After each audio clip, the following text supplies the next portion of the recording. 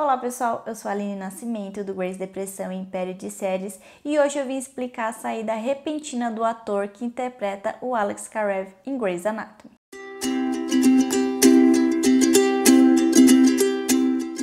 Depois de 15 anos interpretando o nosso amado Alex Karev, o ator Justin Chambers deu uma entrevista ao site Deadline em que ele anuncia a sua saída do show.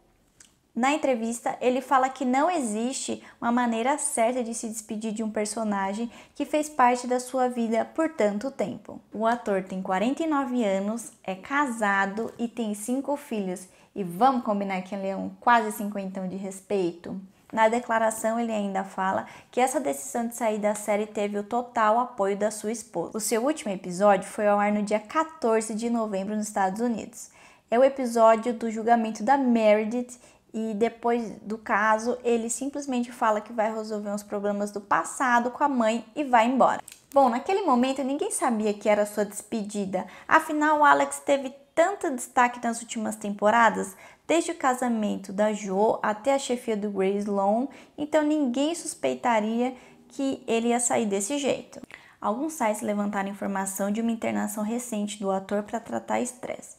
Bom, se ele estiver sofrendo por algum quadro de depressão algum estresse psicológico, é muito aceitável essa saída repentina, porque afinal a gente só quer ver o ator bem.